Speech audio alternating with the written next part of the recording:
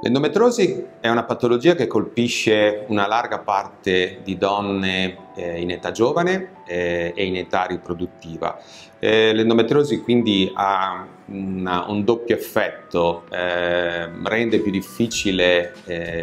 la vita quotidiana perché l'endometriosi porta a dolore durante le mestruazioni, difficoltà anche a poter andare semplicemente a scuola o a lavorare. Eh, in più eh, è una patologia che mh, portando e cronicizzando infiammazione a livello pelvico, quindi a livello della, dell'ovaia, a livello della pancia, a livello delle tube, comporta una diminuzione della fertilità per queste donne eh, che molto spesso devono ricorrere a interventi chirurgici per togliere l'endometriosi o eh, doversi sottoporre a fecondazione in vitro. Ehm, la fecondazione in vitro è diventata una delle indicazioni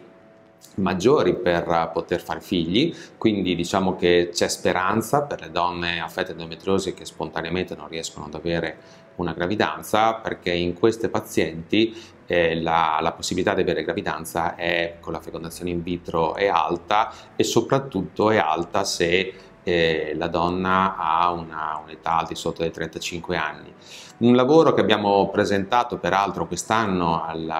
eh, al convegno europeo, eh, uno dei principali convegni eh, in questa materia nel mondo, eh, conferma che la, la capacità di, eh, degli ovociti delle donne affette da endometriosi di portare ad avere embrioni che si sviluppano in maniera regolare ed hanno eh, percentuali di gravidanza assolutamente nella norma con l'età della donna è una notizia importante che può eh, così aiutare le donne con questa patologia a pensare che se non riusciranno spontaneamente ad avere una gravidanza possono contare sulla medicina. Ovviamente è importante riconoscere la patologia se possibile sin dall'inizio, quindi una delle cose che le giovani ragazze dovrebbero tenere in considerazione è il forte dolore mestruale e anche se la propria mamma ha avuto questa patologia perché molto spesso questa patologia ha una base anche genetica quindi molto spesso le, le, figlie di donne con endometriosi possono avere endometriosi.